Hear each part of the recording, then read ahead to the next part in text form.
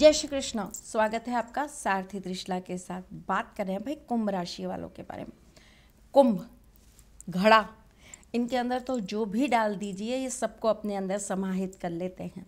इन्हें प्यार से बोलेंगे तो ये प्यार दे देंगे, इन्हें नफ़रत से बोलेंगे तो ये नफ़रत दे देंगे, इन्हें दुलार दे देंगे तो ये दुलार दे देंगे, इन्हें विष देंगे तो ये विष दे देंगे, इन्हें अमृत देंगे तो ये अमृत दे देंगे, और इनका तिरस्कार करेंगे तो ये भी आपका तिरस्कार पलट के कर देंगे। बहुत सेंसिटिव राशि होती है। बहुत ज़्यादा दिल से सोचने वाले लोग होते हैं, जिसके लिए करने पर आए, कुछ भी कर गुजरते हैं, किसी को भी अगर बनाने पर आए तो ये ज़मीन से उठाकर फलक पे बैठाने की ताकत रखते हैं। इन लोगों का दिल बहुत साफ़ होता है, हीरे की तरह चमकदार होता है। इनके दिल में किसी के लिए कोई छल, कोई कपट, कोई धोखा कभी नहीं होता है। ये जो होते हैं, ज़बान पर होते हैं, ये कभी भी अपनी बातों को अपने अंदर दबाकर नहीं रखते हैं। ये हमेशा अपने पार्टनर को लेकर बहुत रोमांटिक रहते हैं, इन्हें घूमना फिरना बहुत पसंद होता है।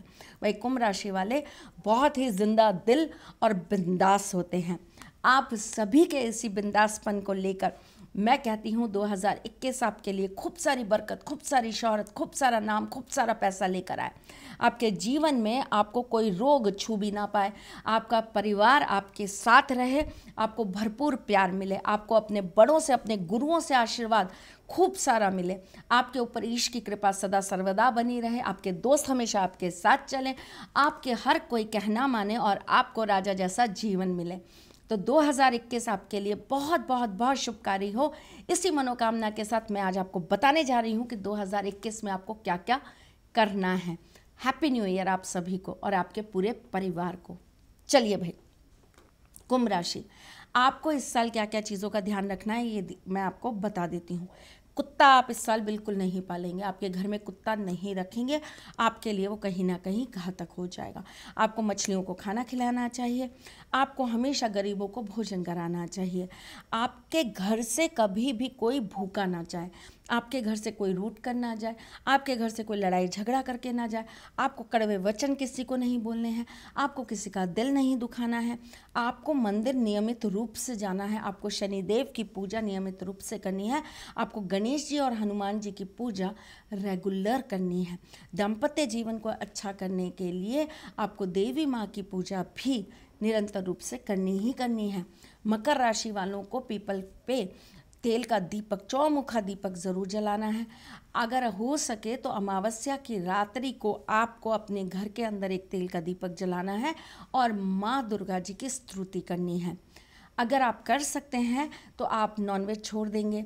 आप कर सकते हैं तो आप ड्रिंक छोड़ देंगे।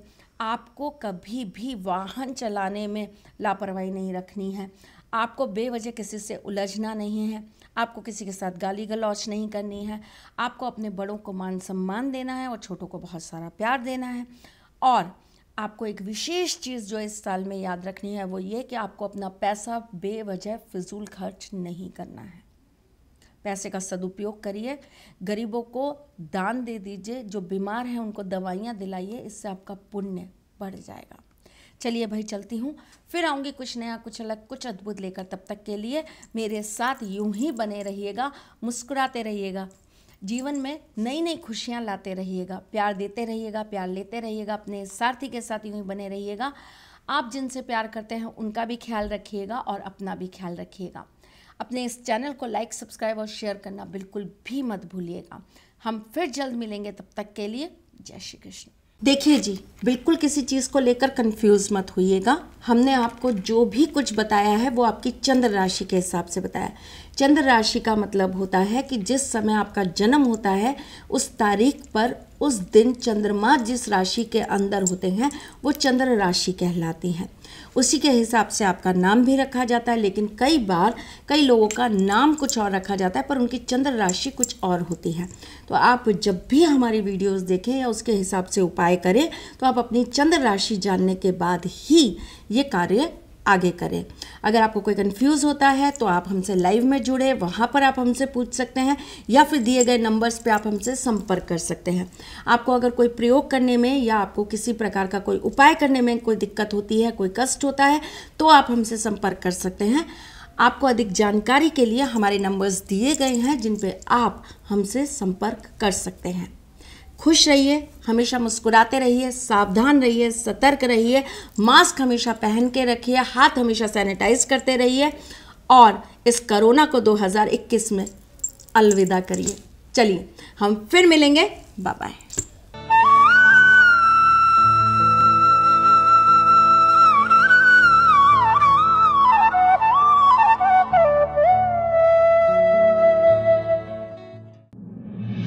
सारथी माँ त्रिशला ज्योतिष के क्षेत्र में विश्व विख्यात नाम है ज्योतिष शास्त्र में पीएचडी माँ त्रिशला पिछले 22 वर्षों से ज्योतिष की सभी परंपरागत विधाओं के साथ साथ अनेक दुर्लभ गुण विधाओं, जैसे परछाई एवं नव्स के अध्ययन से अपनी सटीक भविष्यवाणी और पूर्वानुमान के लिए विख्यात हैं।